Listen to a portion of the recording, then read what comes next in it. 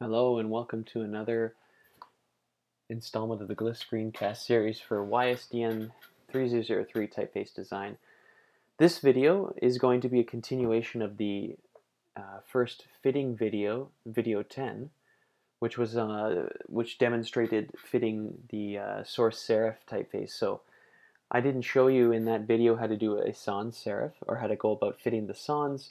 So I'm going to make a very short video that is indeed on fitting sans serif and it's going to allow you uh, to just see the differences. So this won't take very long.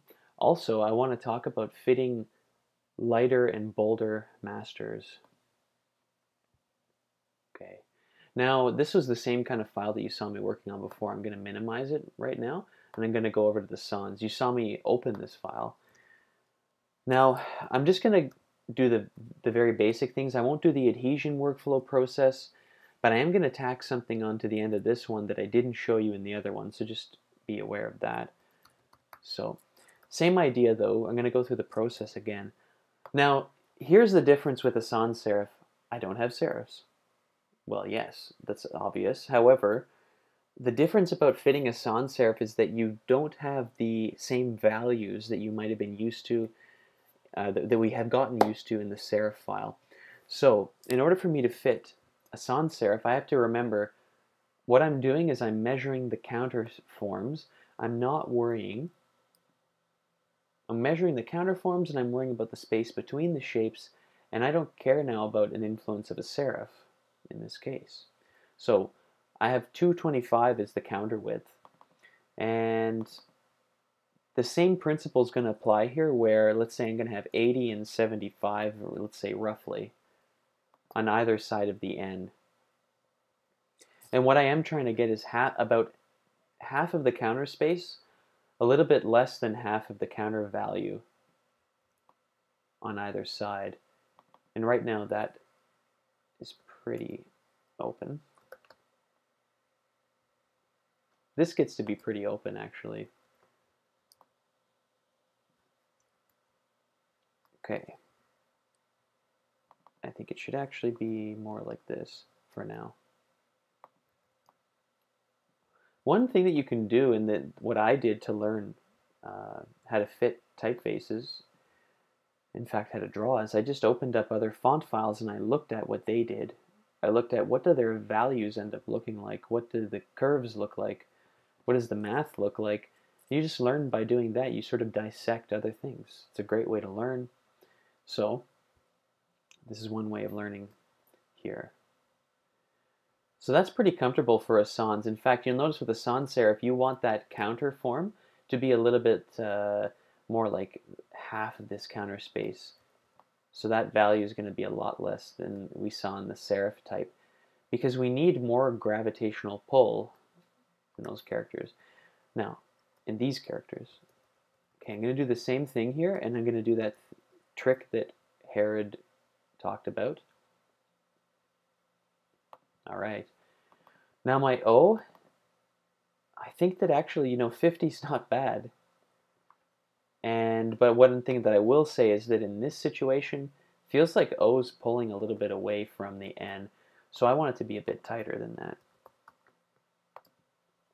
And that's, that's getting pretty tight because of this double combo. So I'm going to try this. I'm going to try 45. You notice that I try to work with increments of 10 first, then I'll start pulling in like odd numbers in, or like one or two units in. Uh, but it usually doesn't help you too much in fitting to start working with really ar arbitrary numbers. I try to keep it pretty even because it tends to work the best. If your proportions are good, your values shouldn't be that odd. In kerning, they definitely shouldn't be all uh, you shouldn't be doing like uh, odd numbers. Really, it should be more uh, set groups of five kind of thing. Okay, so same idea. I'm going to start plugging in new things in here. I can even test it like this, but that's not as helpful to me as this.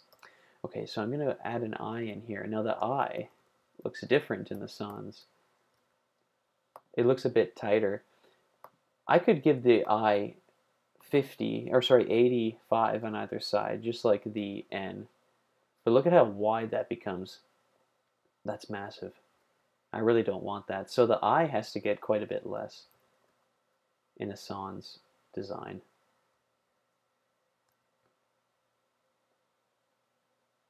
Something I like to do as well, so that I don't fumble around with the glyph, is I just leave it here. And notice how I just have to have my cursor on top of the glyph, and I can edit it. But it, so it, this allows me to look at everything in real time without messing things up. Okay, so I'm actually thinking that it needs to be tighter than that. And let's get our word. I think that that's too close. So I need to open that up. And actually, maybe we... Okay, that's a lot better. There we go. So the word helped us decide. I mean, we could get a word like, uh, yeah, like a double A or double I kind of situation. Some languages have double I's, um, like this. Anyways, but we won't worry about that at the moment. Okay, so then you just keep going through the same kind of cycle. You'll notice that letters like A, though, same idea as before, they're kind of odd. They don't get the same treatment. I could try the N. It works a little bit better here, but I still think that it feels a little funny because that curve cuts harder than this one does. So actually I think it would be more like 75 or maybe 77 it actually feels better. And then on this side it actually has to be less maybe than we expected. Yes, it does.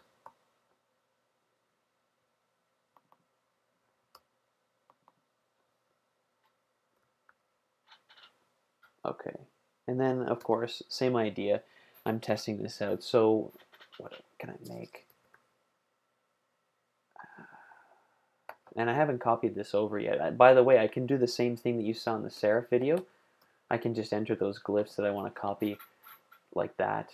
So there's a word. Um,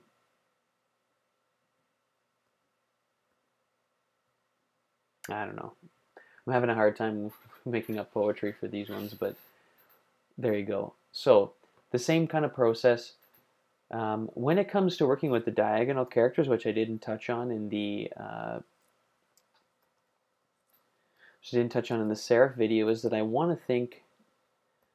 Let's copy this so that we can at least get this. I want those diagonal characters to be zero, but I might find that depending on the design, like right now this looks too tight for this design.